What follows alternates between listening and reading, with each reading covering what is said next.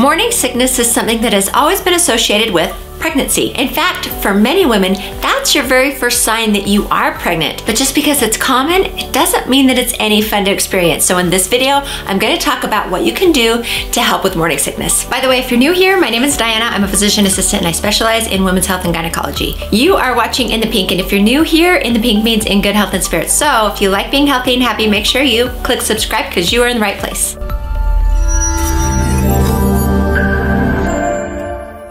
So morning sickness is extremely common, occurring in about 70 to 80% of pregnant women. But what exactly is morning sickness and does it happen for every pregnant woman? And is there a way to make it stop? And can morning sickness harm your baby? So we're gonna discuss all of this and more. But before I start, I have a question for you. Are you watching this video because you're pregnant now and you're experiencing morning sickness yourself? Or are you just thinking about getting pregnant? Or is someone that you love experiencing morning sickness? Put that in the comment section down below. And also let me know of any other topics that you want me to talk about in the future as well. Okay, so what is morning sickness? First off, whoever decided that it should be called morning sickness has obviously never been pregnant because it's not just a morning thing.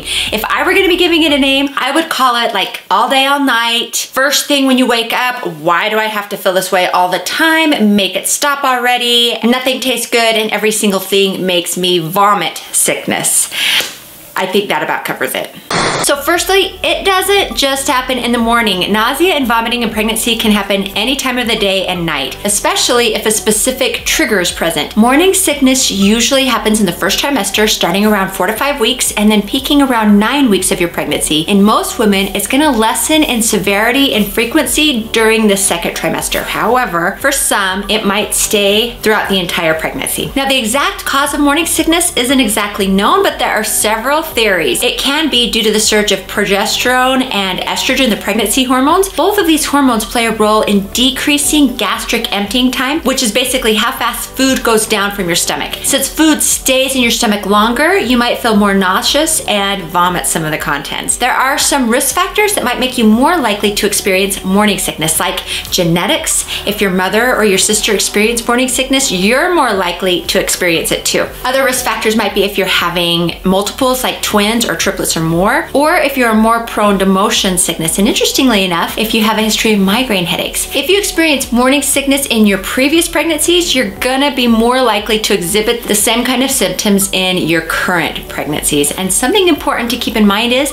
that if you have just found out that you're pregnant and know from your previous pregnancies that you were gonna get morning sickness, you're gonna be able to keep these symptoms under control better if you start treatment for it before you even start to experience symptoms. Now, whatever the cause of morning sickness may be, nausea and vomiting is not necessarily a bad thing. Most of the time, it's part of a normal, healthy pregnancy, but it's also normal to wonder if it can affect the health of your growing baby. And the answer is, for the most part, no. In fact, morning sickness is often a reassuring sign that the pregnancy is going well. Now, there have been some studies that have shown that severe morning sickness might increase your chances of that your baby might have a low birth weight.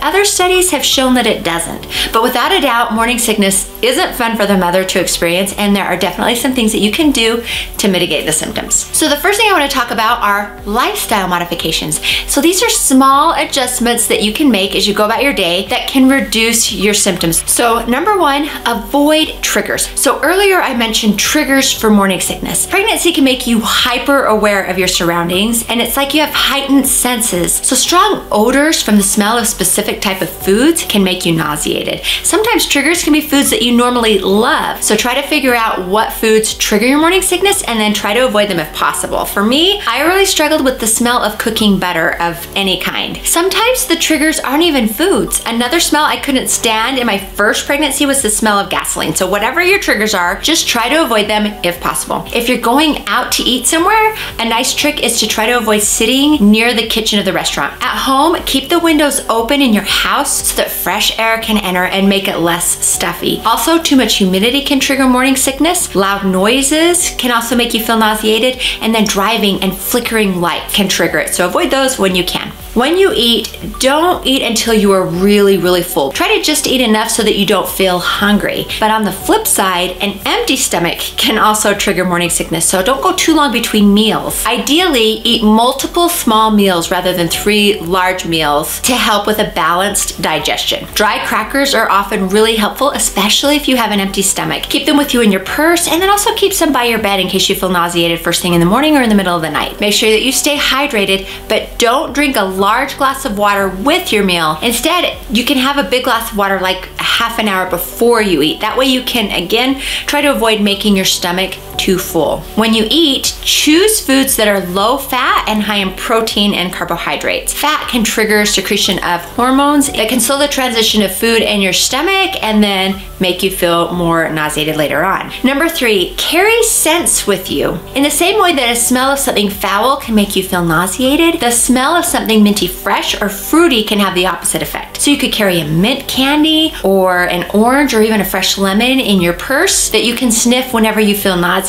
And I know it sounds weird, but it actually helps. At home, you could buy an oil diffuser with a scent that calms you so that your whole house can smell appealing to you. Also, ginger or peppermint tea can calm your stomach. Number four, drink mildly sour fluids. So ginger ale and lemonade are some sour fluids that might ease your symptoms. Lemonade has neutralizing acids which can help you to digest faster. These can both help neutralize the acids in your stomach which can help with digestion. Number five, avoid bad eating habits. So don't lie down immediately after you eat. I would recommend waiting a couple of hours. This is because the muscles above your stomach that prevent the reflux of food from your stomach into your esophagus is more relaxed because of your hormones. And if you lay down, that could worsen your morning sickness. Number six, take your medications as instructed. Now, prenatal vitamins include iron supplements, and iron supplements can upset your stomach. And if it does, your doctor might advise you to take it with meals or after meals. And if that doesn't help, talk to your OB about other options. There are formulations of prenatal vitamins that can be gentler on your stomach. Number seven is other less known interventions. That includes like acupuncture, acupressure, and even counseling might be helpful for some women, especially if the vomiting episodes are associated with a lot of anxiety or feeling extreme sadness from it. Sometimes lifestyle modifications aren't enough to help you with your morning sickness. And if, and if that is the case for you, there's no reason for you to keep that to yourself. You don't have to suffer through it because there are options that your OB can help you with. Starting with, first off, I want to talk about vitamin B6 and doxylamine. Vitamin B6 is over the counter and it can lessen nausea, while doxylamine can lessen vomiting. Now, you can actually get a prescription of vitamin B6 and doxylamine together in the form of a brand name called Diclegis, and it can really help lessen the effects of morning sickness. Or you can just pick them up individually in the over the counter section of your pharmacy. But again, talk to your OB first. Number two, antihistamines. There are some forms of nausea and vomiting associated with motion sickness, and antihistamines block the receptors that are responsible for feeling dizzy and for the nausea. So taking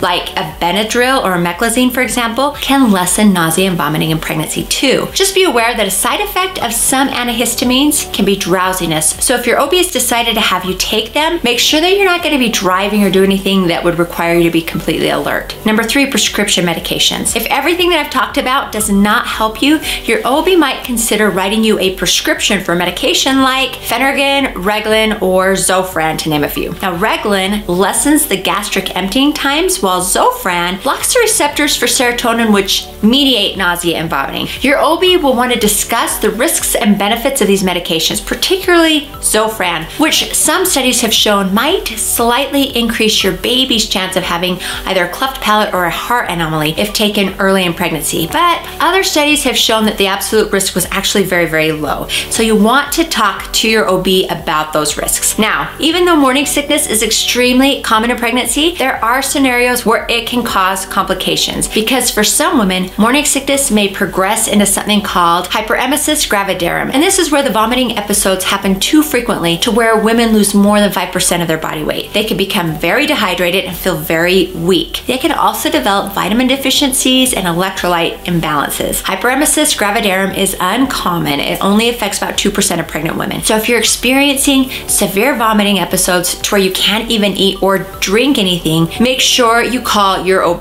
They might consider admitting you to the hospital to rehydrate you and then also to correct any electrolyte imbalances if you have any. So once you're in the hospital, you'll be given medications to help with the nausea and vomiting, and then they'll do a workup to see if they need to do anything else to help you to get better. Hyperemesis gravidarum can develop in pregnancies complicated by hyperthyroidism, and it also can be associated with molar pregnancy, which is a non-viable pregnancy. Also, if you're carrying twins or triplets or more, it's more likely for you to develop this as well. So if you have concerns because you cannot keep your fluids down, you can't keep your food down, make sure you call your OB. Finally, please, please don't smoke weed to relieve your morning sickness and don't take experimental drugs or drugs that aren't approved by the FDA for pregnant women. Also, remember that even if you do all these treatments, it might not completely eliminate morning sickness. Like I said earlier, it's a part of a normal and healthy pregnancy. The goal is to lessen the severity so that you can eat and drink enough for you and your baby's health and for it to not be too disrupting to your everyday life. And hopefully it will disappear by your second trimester. But hey, if you are new to Diana in the Pink, I've actually made an entire pregnancy series, one video for each week of pregnancy, where I talk about baby development, symptoms that you might be experiencing, what to expect at your next OB appointment, basically everything that you need to know about that week in pregnancy.